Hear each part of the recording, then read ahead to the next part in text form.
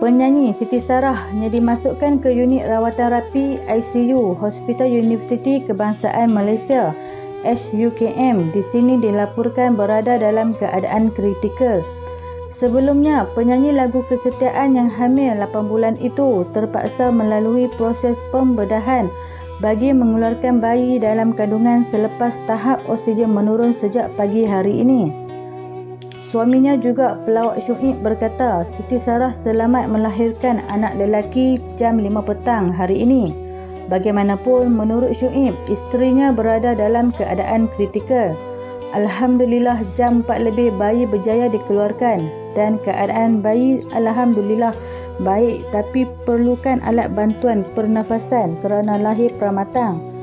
Cuma keadaan Sarah agak kritikal.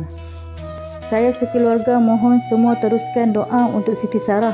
Juga kita doakan semoga sesiapa saja yang sedang bertaruh nyawa dengan COVID-19 dipermudahkan urusan, katanya. Terdahulu, Siti Sarah ditidurkan selepas dia dimasukkan ke ICU SUKM akibat tahap oksigen tidak stabil.